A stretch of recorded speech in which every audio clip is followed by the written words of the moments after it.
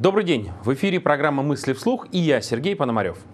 Управляющие компании – это словосочетание многих из нас заставляет нервно морщиться, а кого-то и вовсе пугает.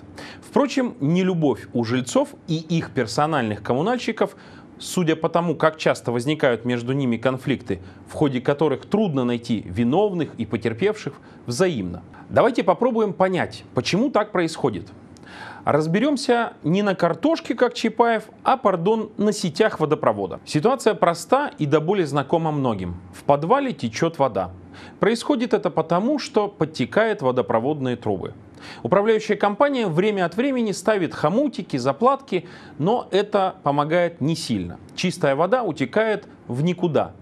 Вся водопроводная система, да и канализационные системы в подвале нуждаются в замене или капитальном ремонте. А на него у коммунальщиков нет денег. Почему? Опять ответ на поверхности. Плохо платят жильцы. А почему не платят жильцы? Потому что в подвале льется вода и канализация.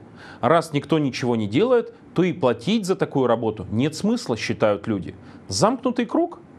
К сожалению. Но вечно так продолжаться не может. По одной простой причине. Мы должны нести ответственность за то, что нам принадлежит, и то, чем мы пользуемся.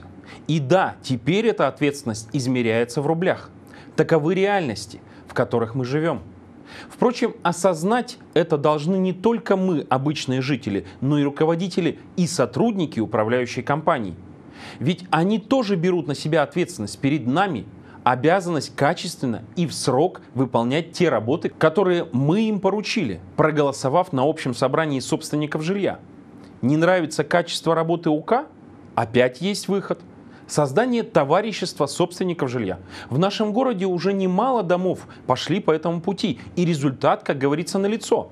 А все потому, что, создав ТСЖ, жильцы домов быстрее начинают сознавать, что именно они отвечают за свое имущество. А значит, именно им и решать, каким будет их подъезд, дом и двор. Вот только обязанность оплачивать работы по текущему ремонту и коммунальным услугам с них никто не снимает. Да, для кого-то из них своевременная оплата коммунальных услуг – ноша вполне посильная. Для кого-то существенный удар по семейному бюджету. Но тем не менее, это не повод отрицать необходимость платить. Делать это нужно хотя бы по чуть-чуть.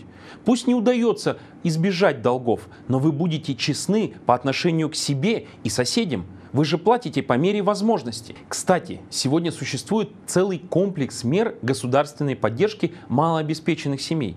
В него входит и субсидии на оплату услуг ЖКХ, и им тоже можно пользоваться.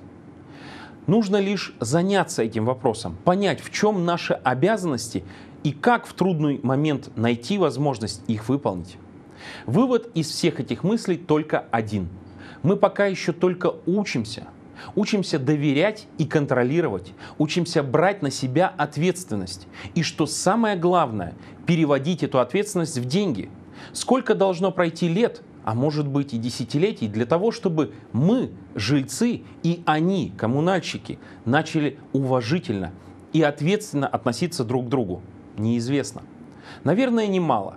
Ведь в той же Европе, где все за все платят, эта ответственность и понимание, что за деньги надо работать, а за работу нужно спрашивать, формировалась столетиями. Вот и нам пора отказаться от взглядов в прошлое и посмотреть вперед, представив, где и в каких условиях мы хотим жить, начать над этим работать. До новых встреч! С вами был Сергей Пономарев.